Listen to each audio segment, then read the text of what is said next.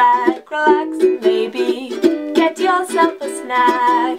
Me and you gonna have a little chat about books.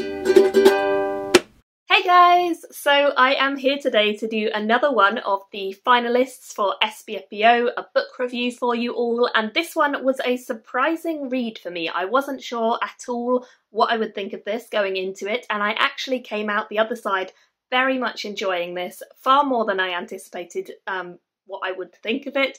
So I will say, if at first glance this doesn't sound like your kind of thing, maybe give it a go anyway because it surprised me and it was definitely the book that I was not expecting to enjoy quite as much as I did. It's a story which is highly and heavily influenced by Jiu-Jitsu, in particular Brazilian Jiu-Jitsu, which is a fighting style that I know next to nothing about. So if you don't know anything about it, don't worry, um, because I didn't. And yet there is a lot of fight scenes in this book which really do take influence from that style and from that technique, and they are done so well like so well. The author is is a practitioner of jiu-jitsu and you can really see that in the way that they've written this book because the fight scenes are realistic. Like they could really, really happen the way that they're described and they feel genuine. And even where the author maybe has taken a little bit of creative license by adding in some magical elements,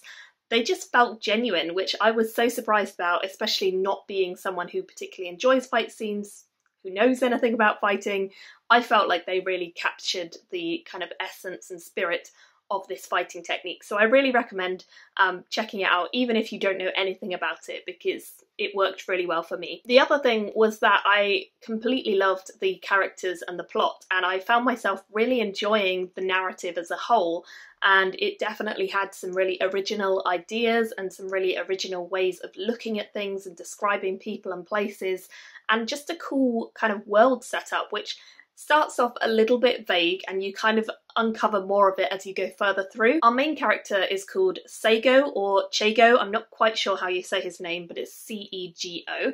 Um, I called him Sego in my head the whole time whilst I was reading it, and I definitely enjoyed his character. He's a character who grew up somewhere, and we don't know an awful lot about where he grew up because we find that out gradually through flashbacks as we go through the story. But when we meet him, he's down in the underground, which is basically the poor bit of this world. Um, people who can't afford anything live down there and they kind of really scrape by. And he has woken up in the underground and instantly he's been captured by a fight crew and he's been taken to this new place where he is forced to fight. Now, we don't really know too much about how he got there or his story in general at this point, so it's quite interesting to find out who he is um, over the course of the book. But equally, his character is one that I can really relate with and really enjoy. He's just a boy who is trying his best to follow the codes, and the codes in this world are particularly important. The society is broken down into daimyos and grievers, and grievers are the kind of fight side of the society. They're the ones who fight in battles. Um, they do kind of essentially duels um, or battles one to one, which essentially take the place of war in this world. There is no war because they just do one to one dueling, which decides the fates of nations, which decides the outcome of disputes, that sort of thing. So the Daimyo are like super high tech, crazy, inventive race, and then we have the Grievers who are like really high quality, prime martial arts. Amazing fighters, um, and they kind of have worked out an agreement to work together, even though a lot of the people from one race don't like the other and so on, but they have come to a kind of accord and they are coexisting. And so we don't know an awful lot about the society, but we learn a lot more about how it all came to be as time goes on. And there's a definite sense of a blend between science fiction and fantasy here. We do have some small fantasy elements. This leans heavier into the sci-fi side because it is a lot of very creative, futuristic tech, and this feels like a very futuristic world in general. Um, it doesn't feel too far removed. I feel like there are definitely elements which make it feel realistic, but there are some fantasy bits and bobs thrown in as well. The magic of this world comes from these things called circles, which are infused with a kind of semi precious metal or stone or something like that, which gives them a kind of power.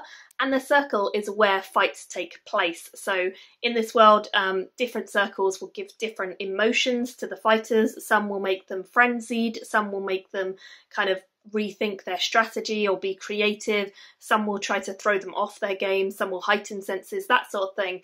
Um, so depending on what circle you're fighting in, it depends on where, like how emotionally you're feeling, which I thought was a really interesting idea to add to the martial side of it. The skill level and the martial prowess was already being tested, but then you add in this emotional factor as well, which I thought was really cool.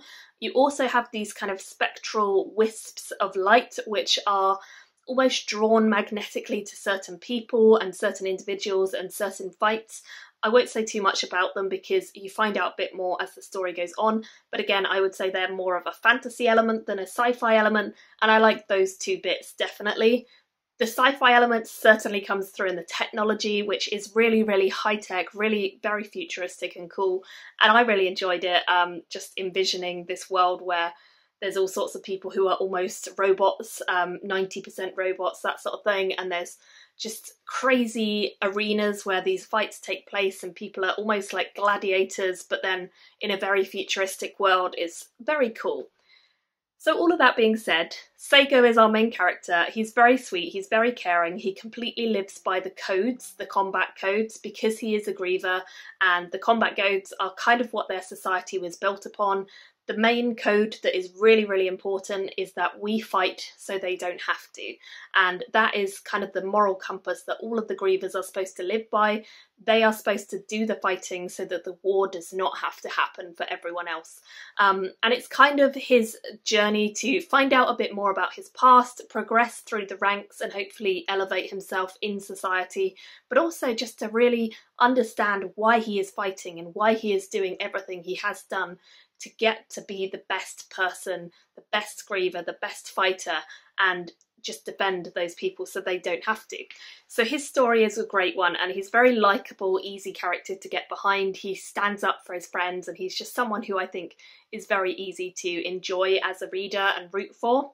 The other main character that we have who comes in slightly later is Murray. Murray is a scout, so he goes down into the underground where all these sort of street fights are happening to hunt for any talent that he finds down there and bring them up to the academy where they could be tested and see if they are qualified to go and learn how to be a Griever Knight and like go through the ranks. So he's been scouting for a long time. He's quite disillusioned about life. He doesn't really enjoy the world he's living in.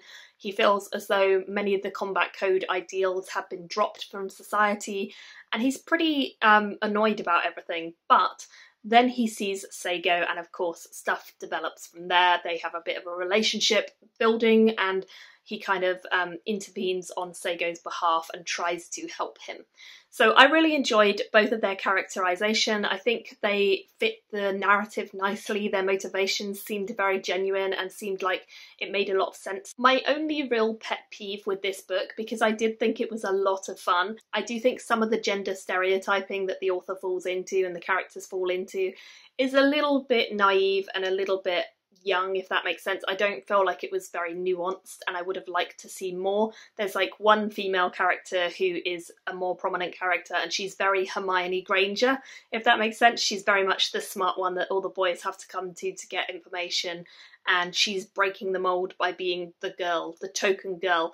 So that for me was a little irritating to see. I would have liked to see more of the girl in the lead as well um, and like her not being the difference to the boys, but being a, a, standard, if that makes sense.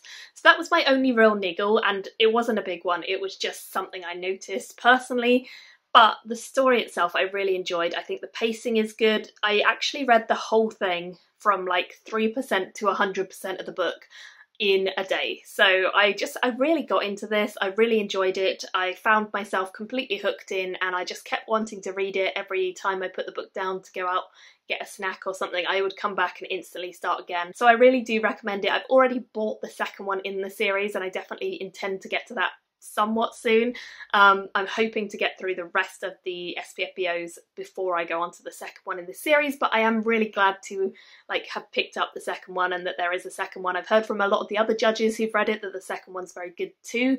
So generally I really recommend this. I think the pacing, the story is great, the characters are great, the world is original, the ideas are really, really well executed, especially the fight scenes, and my only niggle was that gender stuff. So in general, I really, really liked it, and I actually gave this a really good rating as well. I gave this a 4.25, which comes out as 8.5 out of 10 for SPFBO, and I certainly think many of you guys will really like it if you like that blend of sci-fi and fantasy then I think you'll really enjoy this as well. It feels like it's quite a dystopian read and quite a fast-paced one and I think many of you will definitely like it so I will link down below where you can pick up a copy if you're interested. Um, definitely support small indie authors. They always enjoy having support. Um, it really does help them out and usually their books are pretty cheap. I think I got the second one for like three pounds so it's really really cheap and I definitely think you guys should check them out. So I highly recommend it. I think you guys are going to love it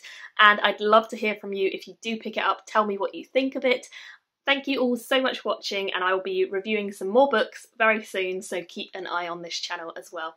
Bye guys! Thank you for watching my video today.